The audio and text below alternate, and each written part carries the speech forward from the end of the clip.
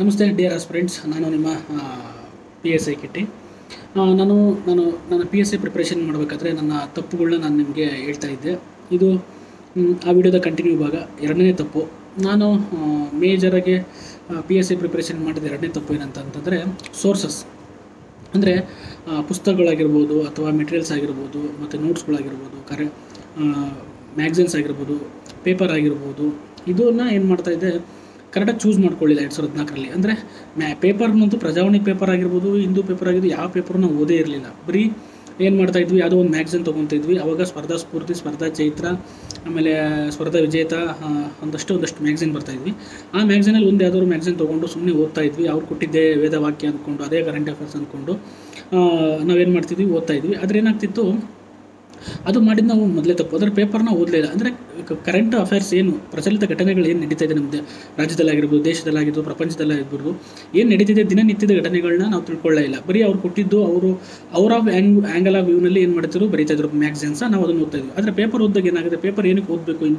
Importance ಅನ್ಸುತ್ತೆ ಅಂತ ನನಗೆ ಆಮೇಲೆ ಗೊತ್ತಾಯಿತು ಅಂತಂದ್ರೆ ಎರಡು ಸಾವಿರದ ಹದಿನಾರು ಆದಮೇಲೆ ಗೊತ್ತಾಯಿತು ಅಂತಂದರೆ ಪ್ರಜಾವಾಣಿ ಪೇಪರ್ಗೆ ಬಂದಾಗ ಯಾವುದಾದ್ರು ಒಂದು ವಿಷಯ ಚರ್ಚೆಗೆ ಬಂತು ಅಂತಂದರೆ ಅವಾಗ ಅಲ್ಲಿ ಅನನ್ಯೀಕರಣ ನಮ್ಮ ನಮ್ಮ ಟೈಮಲ್ಲಿ ನಡೀತಾ ಇತ್ತು ಅನನ್ಯೀಕರಣ ಎರಡು ಸಾವಿರದ ಹದಿನಾರರಲ್ಲಿ ಅನನ್ಯೀಕರಣ ನಡೀತಾ ಇತ್ತು ಅಂದರೆ ಡಿಮೋಟೇಷನ್ ಆಗಿತ್ತು. ಅವಾಗ ಅದರಲ್ಲಿ ಪೇಪರಲ್ಲಿ ಆರ್ಟಿಕಲ್ಸ್ ಬರ್ತಾಯಿತ್ತು ಪಾಸಿಟಿವ್ ಸೈಡ್ ಕೆಲವು ಆರ್ಟಿಕಲ್ಸ್ ಬರ್ತಿದ್ದು ನೆಗೆಟಿವ್ ಸೈಡು ಕೆಲವು ಆರ್ಟಿಕಲ್ಸ್ ಬರ್ತಾಯಿತ್ತು ಅವಾಗ ನಮಗೊಂದು ಪಿಕ್ಚರ್ ಸಿಗ್ತಿತ್ತು. ಏನಂದರೆ ಡಿಮನಿಟೈಸೇಷನ್ಸ್ ಪಾಸಿಟಿವ್ ಏನು ನೆಗೆಟಿವ್ ಏನು, ಅದರದ್ದು ಪರಿಣಾಮಗಳು ಬಾ, ಬಡ ಜನರುಗಳ ಮೇಲೆ ಯಾವ ರೀತಿ ಬೀಳ್ತಾ ಇದೆ, ಸರ್ಕಾರದ ಮೇಲೆ ಯಾವ ರೀತಿ ಬೀಳ್ತಾ ಇದೆ ಅನ್ನೋದು ಗೊತ್ತಾಗ್ತಿತ್ತು. ಆದರೆ ನಾವೇನು ಮಾಡ್ತಿದ್ವಿ?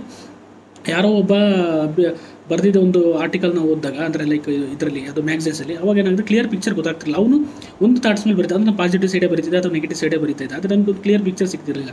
ಆದರೆ ನಾವು ಪ್ರಜಾವಣೆ ಪೇಪರ್ ಓದಿದಾಗ ಡೈಲಿ ಒಂದೊಂಥರ ಚರ್ಚೆಗಳು ನಡೆಯವು. ಈಗ ಸ, ಇದು ಪ್ರಜಾವಾಣಿಯಲ್ಲಿ ಅಂಕಣಗಳು ಬರ್ತವೆ, ಈ ಮ್ಯಾಗ್ಝಿನ್ ಇದು ಚರ್ಚೆಲಿ ಆ ಚರ್ಚೆಲಿ ಚೆನ್ನಾಗಿ ಎಕ್ಸ್ಪ್ಲೈನ್ ಮಾಡಿ ಹೇಳ್ತಿರ್ತಾರೆ ನಾನು ಪೇಪರ್ ಕಟಿಂಗ್ಸ್ ಹಾಕ್ತಿರ್ತೀನಿ ಟೆಲಿಗ್ರಾಮ್ ಗ್ರೂಪಲ್ಲಿ ಹಂಗೆ, ಆ ಚರ್ಚೆಗಳು ಓದಾಗ ಓದಾಗ ಏನಾಗುತ್ತೆ? ನಮ್ಮಲ್ಲಿ ವಿಶ್ಲೇಷಣೆ ಗೊತ್ತಾಗುತ್ತೆ. ಅಂದರೆ ಪಾಸಿಟಿವ್ ಸೈಡ್ ಏನು ನೆಗೆಟಿವ್ ಸೈಡ್ ಏನು ಅನ್ನೋದು ನಮಗೆ ಗೊತ್ತಾಗುತ್ತೆ.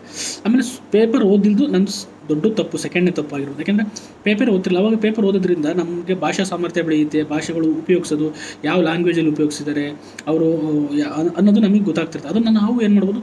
ಎಸ್ ಎನಲ್ಲಾಗಿರ್ಬೋದು ಮತ್ತು ಪ್ರೆಸೇಷನಲ್ಲಿ ಆಗಿರ್ಬೋದು. ಈಗ ನೋಡಿ, ಪ್ರಜಾವಾಣಿ ಪೇಪರ್ ಏನಕ್ಕೆ ಯೂಸ್ ಆಗುತ್ತೆ? ಪೇಪರ್ ಏನಕ್ಕೆ ಯೂಸ್ ಆಗುತ್ತೆ? ಕೆಲವೊಂದು ಹೆಡ್ಡಿಂಗ್ಸ್ ಕೊಟ್ಟಿರ್ತಾರೆ ಪ್ರಜಾವಣೆ ಪೇಪರ್ಗಳಲ್ಲಿ ನಮ್ಗೆ ಆ ಹೆಡ್ಡಿಂಗ್ಸ್ ನೋಡ್ತಿದ್ದಂಗೆ ಇವತ್ತ ಏನು ಬಂದಿದೆ ವಿಚಾರ ಅನ್ನೋದು ನಮಗೆ ಒಂದು ಗೊತ್ತಾಗ್ಬಿಡುತ್ತೆ. ಅಂದರೆ ಆ ಒಂದು ಆರ್ಟಿಕಲಲ್ಲಿ ಏನಿದೆ ಅಥವಾ ಆ ಆರ್ಟಿಕಲ್ ಯಾವ ಒಂದು ವಿಷಯಕ್ಕೆ ಸಂಬಂಧಪಟ್ಟಿದೆ ಅನ್ನೋದು ಗೊತ್ತಾಗುತ್ತೆ.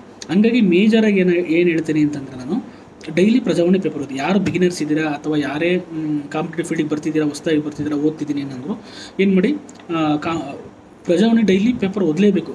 ಕನ್ನಡದಲ್ಲಿ ಪ್ರಜಾವಾಣಿ ಮತ್ತು ಇಂಗ್ಲೀಷಲ್ಲಿ ಹಿಂದೂ ಎರಡೂ ಓದಲೇಬೇಕು. ಯಾರು U P S C prepare ಹಾಕ್ತಿದ್ರೆ Hindu ಪೇಪರ್ನ ಓದಲೇಬೇಕು ಬಟ್ ಅನಾಲಿಸೋದು ಈ ಕೆಲವರು ಏನು ಮಾಡ್ತಾರೆ, ಪ್ರಜಾವಾಣಿ ಪೇಪರ್ ನಾನು ಪೇಪರ್ ಕಟಿಂಗ್ಸ್ ಆಗ್ತಿದ್ದೀನಿ ನಾನು ಮಾಡ್ತಿರೋದು ತಪ್ಪೆ. ಯಾಕೆಂತಂದರೆ ಆ ಥರ ನಿಮಗೆ ಸ್ಪೂನ್ ಫೀಡಿಂಗ್ ಮಾಡಿಸ್ಬಾರ್ದು. ನಾನು ನಿಮಗೆ ಗೊತ್ತಾಗಲಿ ಅಂದ್ಬಿಟ್ಟು ನಾನು ಪೇಪರ್ ಕಟಿಂಗ್ಸ್ನ ಹಾಕ್ತಿದ್ದೀನಿ ಹೊರತು, ನೀವು ಅದರಿಂದ ಪ್ರಮೋಟ್ ಆಗಿ, ಅದನ್ನೇ ನನ್ನ ಮೇಲೆ ಡಿಪೆಂಡ್ ಆಗಿ ಅಂತ ನಾನು ಹೇಳಲ್ಲ. ನೀವು ಕಲಿಬೇಕು, ನೀವು ಅದರಲ್ಲಿ ಯಾವುದು ಇಂಪಾರ್ಟೆಂಟು ಕರೆಂಟ್ ಅಫೇರ್ಸ್ ಯಾಕೆಂದರೆ ನಾವು ಪ್ರಜಾವಾಣಿ ಪೇಪರ್ ಓದೋದ್ರಿಂದ ಯಾವುದು ಪರೀಕ್ಷೆಗೆ ಇಂಪಾರ್ಟೆಂಟು ಯಾವುದು ಪರೀಕ್ಷೆಗೆ ಇಂಪಾರ್ಟೆಂಟ್ ಅಲ್ಲ. ನಮಗೆ ಯಾವುದು ಎಕ್ಸಾಮಲ್ ಕ್ವಶನ್ಸ್ ಕೇಳ್ತಾರೆ, ಯಾವ್ದು ಕೇಳಲ್ಲ. ಪ್ರಬಂಧಕ್ಕೆ ಯಾವ್ದು ಯೂಸ್ ಆಗುತ್ತೆ? ಆನ್ಸರ್ ಕೆ ಪಿ ಎಸ್ ಸಿಲಿ ಆನ್ಸರ್ ಬರೆಯೋಕ್ಕೆ ಯಾವ್ದು ಯೂಸ್ ಆಗುತ್ತೆ?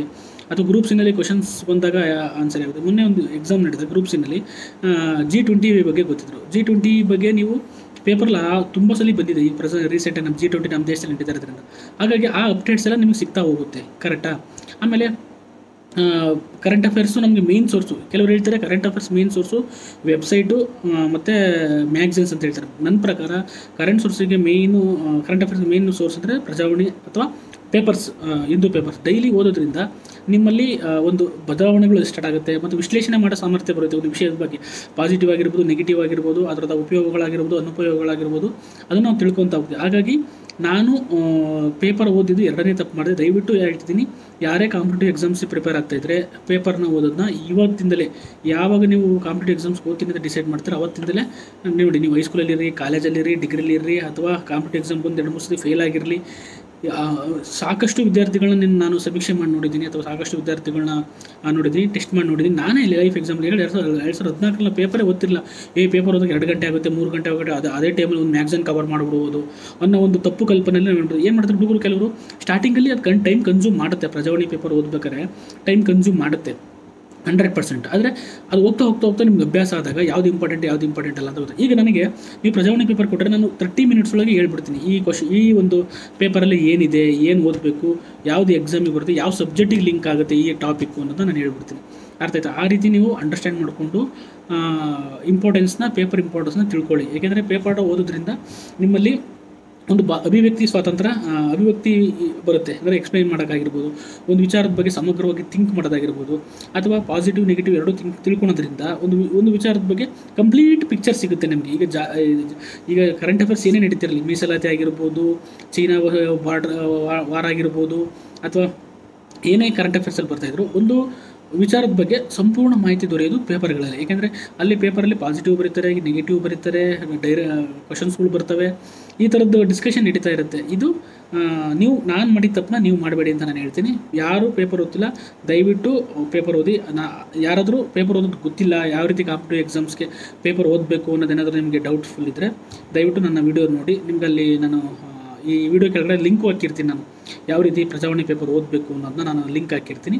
ದಯವಿಟ್ಟು ಒಂದ್ಸತಿ ಆ ಪೇಪರ್ನ ಅದನ್ನು ವೀಡಿಯೋ ನೋಡಿದ್ರೆ ನಿಮ್ಮದು ಐಡಿಯಾ ಬರುತ್ತೆ. ಯಾವ ರೀತಿ ನೋಟ್ಸ್ ಮಾಡ್ಕೋಬೇಕು ಅನ್ನೋದು ನಾನು ವೀಡಿಯೋ ಹಾಕಿದ್ದೀನಿ. ಅದನ್ನು ನಿಮ್ಮ ಈ ಡಿಸ್ಕ್ರಿಪ್ಷನಲ್ಲಿ ನಾನು ಲಿಂಕ್ ಹಾಕ್ತೀನಿ. ಅದನ್ನು ಚೆನ್ನಾಗಿ ತಿಳ್ಕೊಳ್ಳಿ, ಓದಿ. ಯಾರು ದಯವಿಟ್ಟು, ಯಾರು ಕಾಂಪಿಟೇಟಿವ್ ಫೀಲ್ಡಲ್ಲಿ ಸಕ್ಸಸ್ ಆಗಬೇಕು, ಯಾವುದೇ ಎಕ್ಸಾಮ್ ಇರಲಿ K P S C P C P S I F D S D A P D O ಯಾವುದೇ ಎಕ್ಸಾಮ್ ಬರೀತಾರೆ ಪೇಪರ್ ಓದೋದು ಮಸ್ಟ್ ಆ್ಯಂಡ್ ಶೂಟ್ ಅದನ್ನು ಇವತ್ತಿಂದಲೇ ಫಾಲೋ ಮಾಡ್ಕೊಳ್ಳಿ, ಇವತ್ತಿಂದಲೇ ಫಾಲೋ ಮಾಡಿ. Definitely you will be success ಎಲ್ಲರಿಗೂ ಒಳ್ಳೆಯದಾಗಲಿ ಆಲ್ ದ ಬೆಸ್ಟ್ ಮತ್ತೆ ನನ್ನ ಮೂರನೇ ತಪ್ಪು, ಮೂರನೇ ತಪ್ಪುಗಳು ಅಥವಾ ನಾಲ್ಕನೇ ತಪ್ಪುಗಳೊಂದಿಗೆ ನಿಮ್ಮ ಮುಂದೆ ಹಾಜರಾಗ್ತೀನಿ. All the best good bye ಗೆಳೆಯರೆ ಹಾಗೆ ಇದನ್ನು ಮಾಡ್ತಾ ಇರೋದು ಯಾರಿಗೆ ಕಾಂಪಿಟೇಟಿವ್ ಎಕ್ಸಾಮ್ಸ್ ಬಗ್ಗೆ ಸರಿಯಾದ ಮಾರ್ಗದರ್ಶನ ಇಲ್ಲ, ಆ ವಿದ್ಯಾರ್ಥಿಗಳಿಗೆ, ಮತ್ತು ಯಾರು ಕಷ್ಟಪಟ್ಟು ಓದ್ತಾ ಇರ್ತಾರೆ ಒಂದು ಜಾಬ್ ತಗೋಬೇಕು ಅನ್ನೋ ಒಂದು ವಿದ್ಯಾರ್ಥಿಗಳಿಗೆ ಹೆಲ್ಪ್ ಆಗಲಿ ನಾನು ಈ ವಿಡಿಯೋ ಮಾಡ್ತಾ ಇದ್ದೀನಿ. ಹಾಗಾಗಿ ಅಂಥವ್ರಿಗೆ ಶೇರ್ ಮಾಡಿ. ನನ್ನ ಕಂಟೆಂಟು ಇಷ್ಟ ಆದರೆ ಲೈಕ್ ಮಾಡಿ. ನಮ್ಮನ್ನು ಪ್ರೋತ್ಸಾಹಿಸಿ.